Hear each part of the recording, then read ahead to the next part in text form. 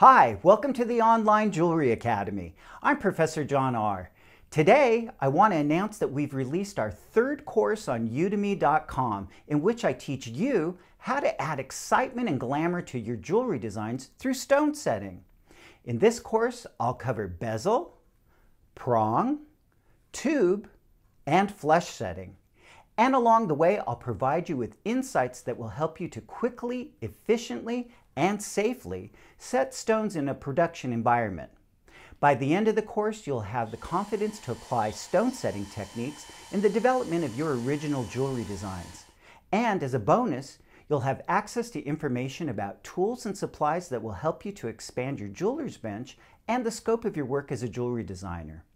This course is great for intermediate students who already have skills required for soldering a pre-made bezel or prong setting to an item. This includes individuals who already know how to make these types of settings for soldering. You can click on the link in the description below to sign up for the course now and receive a discounted price. If you're just a beginning student, you should watch my beginning jewelry making course entitled Colorful Silver Jewelry. It's a comprehensive course that will teach you many of the basic skills needed to move on to this course. I also have a course on making hinge jewelry, which will add to the skills that you'll learn in my beginning class.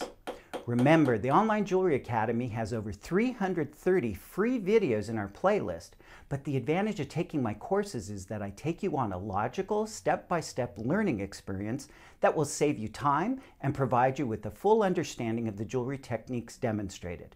Plus, you'll always have access to the course. Thanks for watching and supporting the Online Jewelry Academy.